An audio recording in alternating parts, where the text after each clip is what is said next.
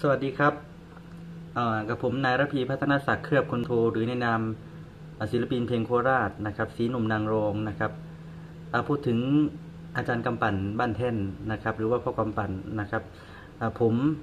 นี้นะครับถือว่าเป็นลูกศิษย์ต้นๆอีกท่านอีกคนหนึ่งนะครับ ที่คุณพ่อ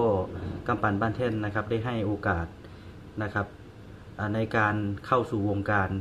แรกเริ่มเดิมทียังไม่มี ใครรู้จักยังไม่รู้จักร้องเพลงโคราชนะครับ พ่อได้ชักนำแล้วก็ให้ที่เมตตาให้ที่พักพิงอาศัยนะครับ รวมไปถึงแต่งกลอนเพลงโคราชนะครับ ให้ที่พักนะครับ สอนรำนะครับ ทุกสิ่งทุกอย่างนะครับเสียบเสมือนพ่ออีกคนหนึ่งนะครับที่อเมตตาลูกนะครับ มาโดยตลอดนะครับ ผมได้มีโอกาสเข้าสู่วงการก็เพราะพ่อกำปานพันแท่น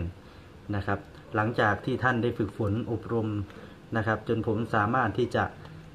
อ